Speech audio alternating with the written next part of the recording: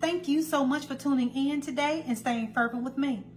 Today, I wanted to encourage you with this word.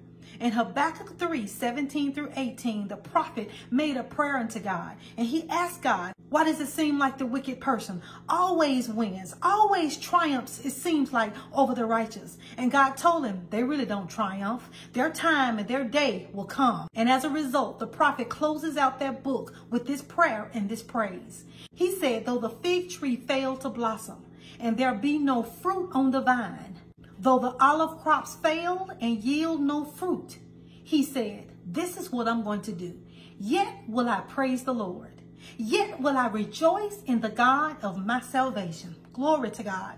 This encourages us that no matter what we're going through, what we're facing, or if we're living in a time when things just don't make sense, whatever our dark season, whatever is perplexing us, be encouraged with what Habakkuk said today. Regardless of all of that, I don't see any fruit. I don't see any profit. I wonder why the wicked looks like he is winning. I'm still going to praise God. Yet I'm going to praise God. Yet I'm going to praise the Lord. Yet I'm going to lift up my hands and magnify the Lord. Yet I'm going to keep on praying. Yet I'm going to keep believing God. Yes, I'm going to still stay in my prayer closet. God wants us to praise him anyhow. Don't give up because remember, God specializes in bringing dead things to life.